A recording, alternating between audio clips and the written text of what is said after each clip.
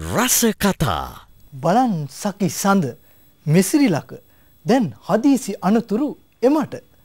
අද දවල් මහමග විපතකින් තවත් දෙදෙනෙකු මරුට. ගුණ කතා රජයේ සීග්‍ර මාර්ග සංවර්ධනය නිසා මෙරට රියදුරන්ට වැඩි වේගයකින් ගමන් කිරීමට අවස්ථාව උදා වී තිබේ.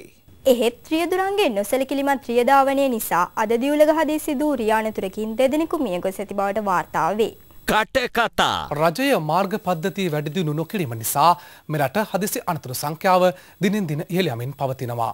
අද දෙදෙනෙකුට මරු කැඳ වූ දිවුලගහ හදිසි අනතුරේ වගකීම රජයේ භාරගත යුතු බවට ප්‍රදේශවාසීන් චෝදනා නගනවා.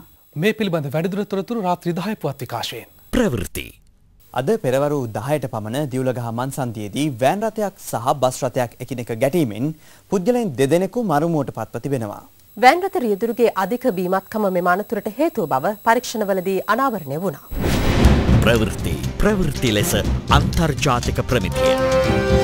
අද දෙරන ප්‍රධාන ප්‍රවෘත්ති ප්‍රකාශය දිනපතා රාත්‍රී අටට.